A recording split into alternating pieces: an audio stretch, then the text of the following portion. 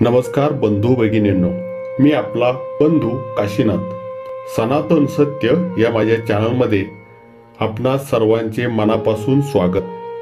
आज जो विषय मी आपणासमोर घेऊन आलोय त्या विषयाचा प्रश्न नेहमी सर्वांच्या मनामध्ये घोळत असतो की नेहमी चांगले वागणाऱ्या व्यक्तीच्या जीवनामध्ये दुःख का? भक्त आहे देवाची एवढी भक्ती करून सुद्धा जीवनात दुःख का? या सर्व प्रश्नांची उत्तरे मी आपणास देणार आहे. कारण प्रत्येक विषयामागील सनातन सत्य लोकांसमोर आणणे हे माझ्या चॅनेलचे उद्दिष्ट आहे.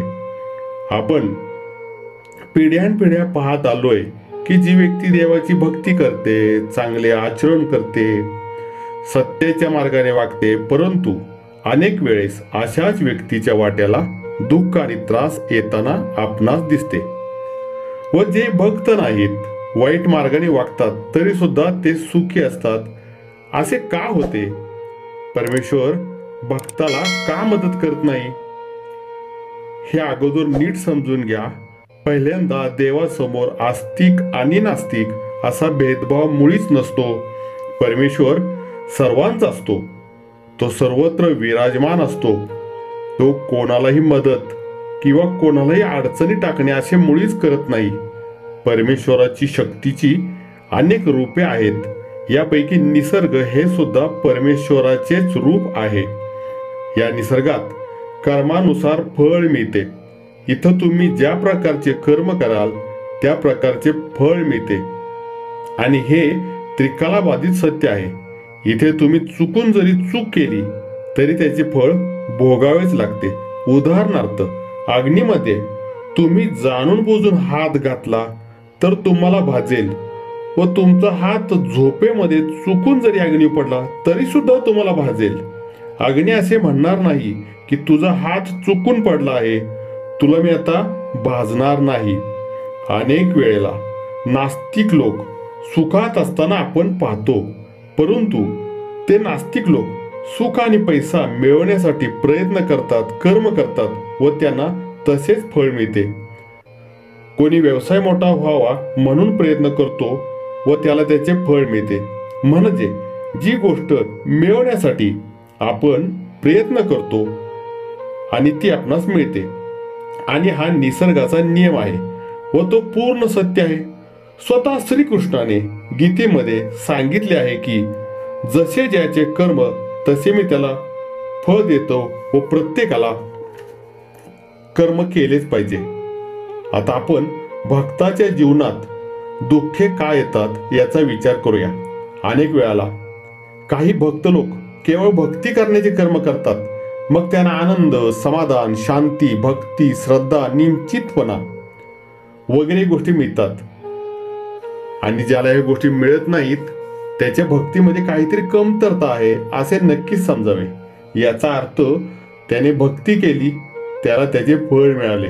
परंतु त्या भक्ताला पैसा हवा असेल काही सुख सुविधा हव्या असतील तर त्याला त्या स्वरूपाचे कर्म करावे लागेल.